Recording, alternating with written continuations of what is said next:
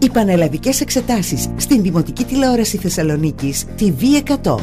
Κάθε μέρα των εξετάσεων, στις 2 το μεσημέρι ζωντανά, όλες οι λύσεις των θεμάτων των εξεταζόμενων μαθημάτων της ημέρας, με την αξιοπιστία και την εγκυρότητα των φροντιστηρίων Ανατολικό. Για να γνωρίζεις πως έγραψες κάθε μέρα στην TV100 με τα φροντιστήρια Ανατολικό.